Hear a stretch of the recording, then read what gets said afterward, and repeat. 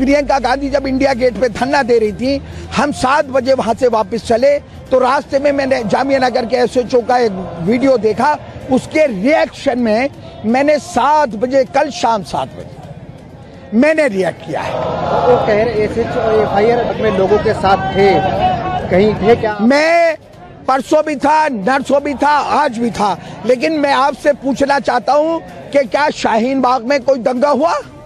क्या शाहीन बाग थाने में कोई एफआईआर हुई? एफआईआर आप न्यू फ्रेंड थाने की करते हो।